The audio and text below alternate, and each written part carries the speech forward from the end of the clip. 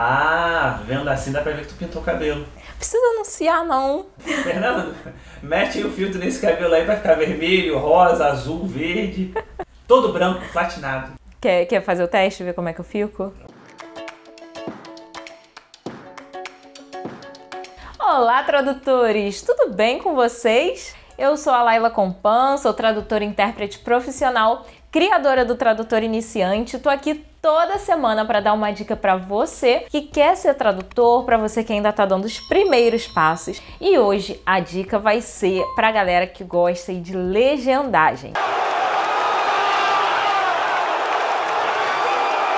Quem gosta de trabalhar com legendagem ou quem tem curiosidades, né? Às vezes a galera aí que gosta de ver um filminho legendado vai entender melhor certos aspectos aí da legendagem. Então fica ligado, fica ligado aqui no vídeo para você entender tudo o que nós vamos falar hoje. Teve um dia que eu estava dando aula para os meus alunos do curso de legendagem e surgiu a seguinte dúvida: Professor, eu estava assistindo um filme e nesse filme tinha algumas cenas, era legendado, né? Eu estava assistindo no cinema, em inglês, legendado e tal.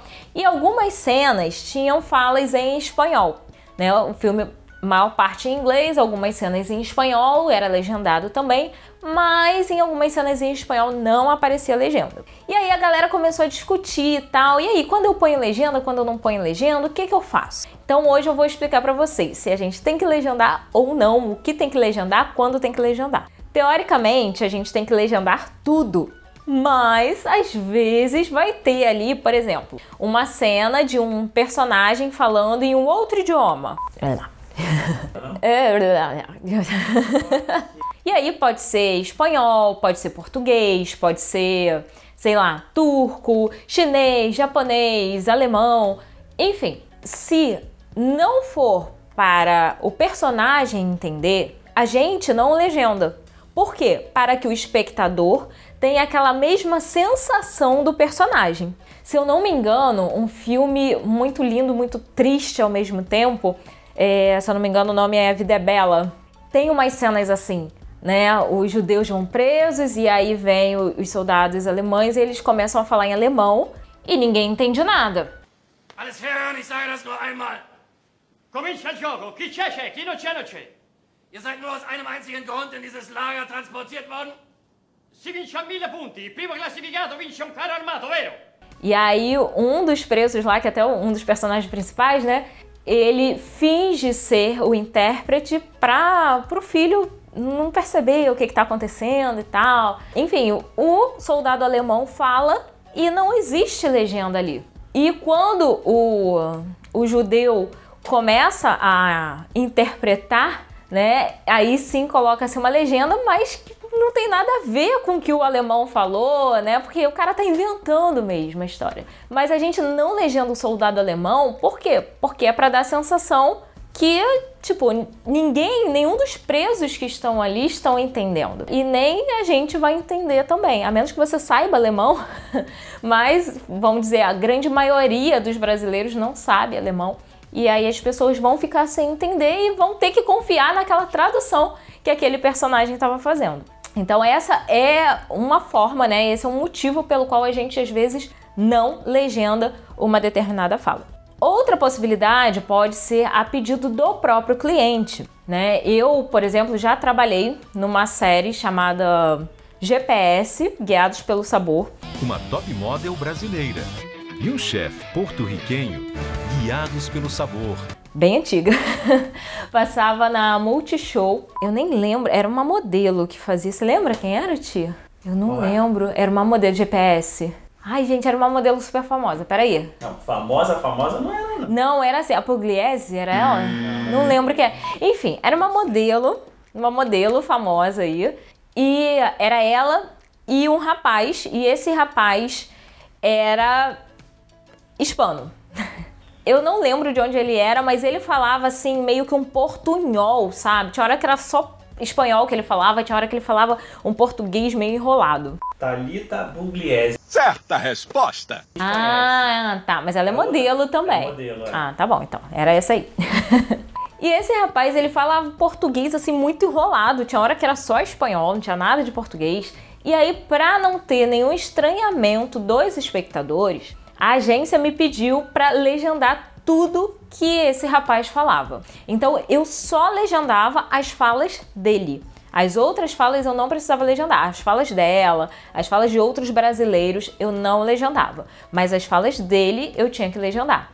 Eu só não precisava legendar, por exemplo, quando ele falava assim: é, sim, né? Então, umas coisas assim que tava claro, aí eu não precisava legendar. Fora isso, eu legendava tudo que era dele. Mas isso foi uma orientação que eu recebi previamente antes de começar a legendar aquela série. Laila, essas informações vêm no script pra gente? Isso você legenda, isso você não legenda? Não.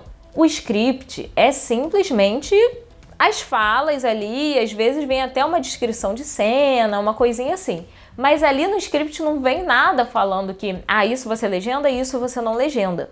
Às vezes, no caso de uma fala estrangeira, pode até vir, dependendo do idioma, um idioma assim mais comum, né, tipo inglês, espanhol, às vezes vem as duas falas ali transcritas no script. Mas a gente tem que usar o bom senso, né? E analisar ali o enredo e ver o personagem tá entendendo ou não tá entendendo, eu traduzo ou não traduzo, né? Você tem que usar o seu bom senso ali também.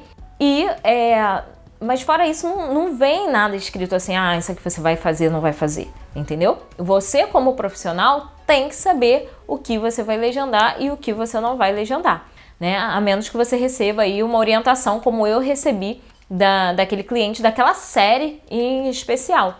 Foi a única série, foi o único trabalho assim que me pediram para não, você só legenda as falas dele, né? Foi bem, bem diferente, mas foi um trabalho assim que eu amei fazer. Passei muita vontade, né? Porque eu via muita comida gostosa e tal. Eu sempre pegando coisa de culinária para traduzir, para legendar. Alta sal, pimenta. Enfim, foi, foi um trabalho bem interessante de se fazer mas a gente tem que ter essa atenção. Agora, cabe a mim julgar por que foi legendado, por que não foi legendado? Não. Não cabe, porque eu não sei o que foi informado ao tradutor, ao legendador daquele filme, daquela série, né, para ele fazer. Outra coisa que pode acontecer também é, de repente, o legendador vai legenda tudo e a gente envia o arquivo para a agência e na hora da revisão, da finalização, podem simplesmente olhar e falar assim: ah, isso aqui não precisa. E dão um delete. Eu geralmente indico aos meus alunos o seguinte: se você considera isso relevante, então vai legenda dentro da, dos parâmetros, né? Dentro das orientações todas lá que a gente trabalha. Eu falo, é melhor você botar mais e o cliente só apertar um botão para deletar aquela legenda do que o cliente voltar e falar assim para você: olha só, você não legendou as falas tal, tal, tal, tal, tal, e você tem que incluir, tá? Então, às vezes é melhor você pecar pelo excesso do que pela falta. Porém, porém, tudo que você fizer, você tem que fazer com uma intenção. Tem que ser intencional e você tem que saber justificar a sua escolha, tá? Você não vai fazer simplesmente, ah, porque eu achei que era mais fácil você só deletar se você não quisesse. Não, você tem que dar uma explicação. Não, olha, eu considerei isso relevante por causa disso e disso e disso. É igual quando eu trabalho questão de música com os meus alunos. Quando é que você vai legendar a letra de uma música quando você não vai legendar a letra de uma música? Às vezes a música, a letra da música tem até a ver com toda a trama, mas é necessário legendar aquela letra? Então a gente sempre nos cursos trabalha essas questões e eu, particularmente, gosto muito de botar meus alunos para pensar e falar assim: por que você fez isso? Por que você teve essa escolha? Por quê? E eu quero que cada um justifique. Porque se o cliente resolver te perguntar o porquê de uma decisão, você tem que saber responder. Você tem que fazer aquilo ali com uma intenção e saber justificar caso ele te questione. Às vezes ele pode até considerar errada a tua escolha, mas de repente, dependendo da sua justificativa, ele vai dizer: "Tá, faz sentido. A gente aqui não trabalha assim, mas eu entendi o seu ponto de vista". Então pode acontecer. Então, sempre que você fizer uma escolha, saiba justificar essa escolha. Não faz só porque, ah, vou fazer, vou poupar tempo, sei lá o que. Faça porque existe um motivo, uma explicação lógica para aquela escolha. Espero que esse vídeo tenha te ajudado. E se você tem alguma dúvida, você pode mandar para mim aqui nos comentários. Usa a hashtag Tradutor Iniciante Responde, que fica mais fácil de eu ver. Ou então manda pelo link que tem aqui na caixinha de descrição. Quem sabe a sua pergunta vira um vídeo que eu faço toda última segunda-feira do mês, chamado Tradutor Iniciante Responde. E ali eu respondo uma dúvida sua. Semana que vem, inclusive, tem um tradutor iniciante para vocês. Aguardem. Então é isso, pessoal. E ó, se vocês ficaram curiosos com a questão da legendagem, quer trabalhar com essa área, quer entrar na turma, corre, porque as inscrições vão ficar abertas somente até o dia 30 de setembro, até o finalzinho do mês, tá? Então até as 11h59 da noite do dia 30 de setembro você consegue se inscrever nessa turma ainda esse ano. Se não, só ano que vem. Um beijo para vocês, muito sucesso e até o próximo vídeo. Tchau, tchau!